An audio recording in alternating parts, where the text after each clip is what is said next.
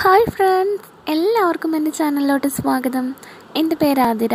അപ്പോൾ ഇന്ന് ഞാൻ അടിപൊളിയായിട്ടുള്ളൊരു സ്വീറ്റായിട്ടാണ് വന്നിരിക്കുന്നത്. പെട്ടെന്ന് തന്നെ ചെയ്തെടുക്കാൻ പറ്റും. ഒരുപാട് സമയത്തിന്റെ ആവശ്യമൊന്നും വരുന്നില്ല. അപ്പോൾ ഇതെങ്ങനെ ചെയ്തെടുക്കുന്നതെന്ന് നോക്കാം. അപ്പോൾ ഇതിന് വേണ്ടി നമുക്ക് ആദ്യം തന്നെ ഒരു പാത്രത്തിലോട്ട് ഒരു കപ്പോളം വരുന്ന ബ്രെഡ് പൊടിച്ചത് ഇട്ട് കൊടുക്കാം.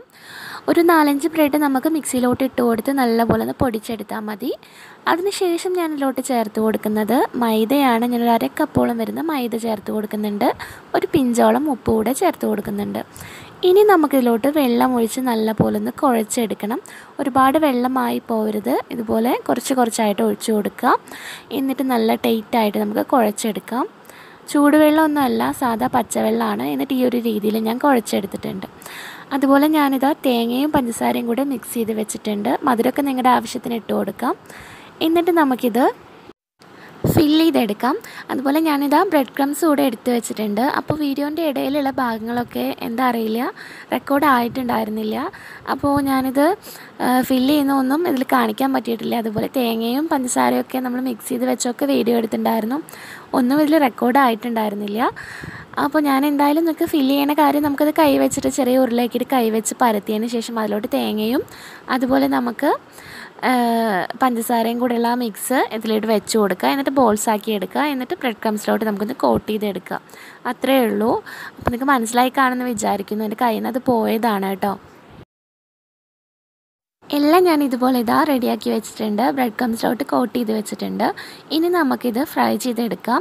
അതിന് വേണ്ടി ഞാനിത് എണ്ണ ചൂടാകാൻ വെച്ചിട്ടുണ്ടായിരുന്നു. ചൂടായി കഴിയുമ്പോൾ നമുക്ക് അതിലോട്ട് ഇങ്ങനെ ഓരോന്നായിട്ട് ഇട്ട് കൊടുക്കാം. ഹൈ ഫ്ലെയിമിൽ വെക്കരുത് കേട്ടോ. ഒരു മീഡിയം ഫ്ലെയിമിലോട്ട് തീ വെക്കുക.